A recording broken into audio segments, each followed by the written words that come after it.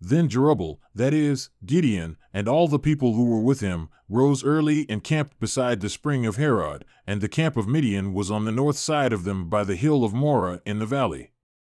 And Yahweh said to Gideon, The people who are with you are too many for me to give Midian into their hands, lest Israel honor themselves, saying, My own hand has saved me. So now, come, call out in the hearing of the people, saying, Whoever is afraid and trembling, let him return and depart from Mount Gilead. So twenty two thousand people returned, but ten thousand remained. Then Yahweh said to Gideon, The people are still too many, bring them down to the water, and I will test them for you there. And it will be that he of whom I say to you, This one shall go with you, he shall go with you, but every one of whom I say to you, This one shall not go with you, he shall not go. So he brought the people down to the water. And Yahweh said to Gideon, Everyone who laps the water with his tongue as a dog laps, you shall set him aside by himself, and so also everyone who kneels to drink. Now the number of those who lapped, putting their hand to their mouth, was three hundred men, but all the rest of the people kneeled to drink water.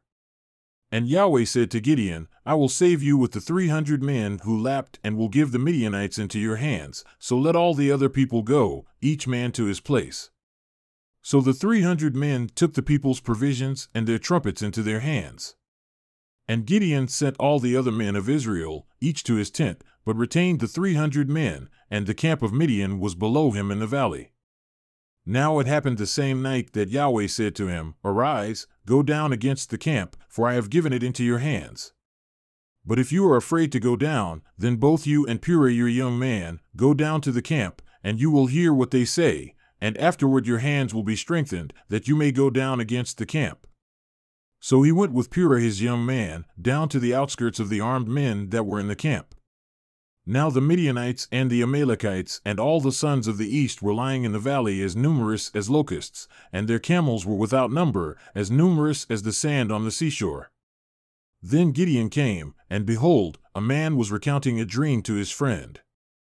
And he said, Behold, I had a dream. A loaf of barley bread was tumbling into the camp of Midian, and it came to the tent and struck it so that it fell and turned it upside down so that the tent lay flat. And his friend answered and said, This is nothing less than the sword of Gideon the son of Joash, a man of Israel. God has given Midian and all the camp into his hand. Now it happened that when Gideon heard the account of the dream and its interpretation, he bowed in worship. Then he returned to the camp of Israel and said, Arise, for Yahweh has given the camp of Midian into your hands. And he divided the three hundred men into three companies, and he put trumpets and empty pitchers into the hands of all of them, with torches inside the pitchers. Then he said to them, Look at me and do likewise. And behold, I will come to the outskirts of the camp, and it will be that just as I do, so you do likewise. And I and all who are with me will blow the trumpet. Then you also shall blow the trumpets all around the camp and say, For Yahweh and for Gideon. So Gideon and the hundred men who were with him came to the outskirts of the camp at the beginning of the middle watch, when they had just set up the watch, and they blew the trumpets and smashed the pitchers that were in their hands.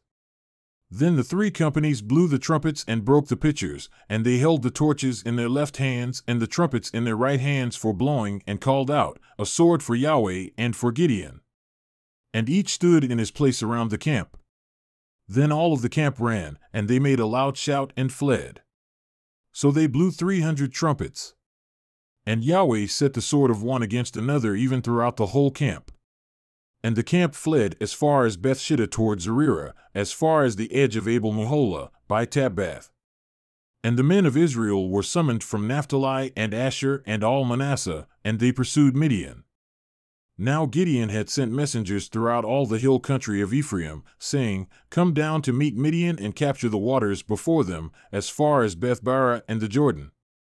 So all the men of Ephraim were summoned, and they captured the waters as far as Bethbarah and the Jordan. Then they captured the two princes of Midian, Oreb and Zeb, and they killed Oreb at the rock of Oreb, and they killed Zeb at the winepress of Zeb. Then they pursued Midian and brought the heads of Oreb and Zeb to Gideon from across the Jordan.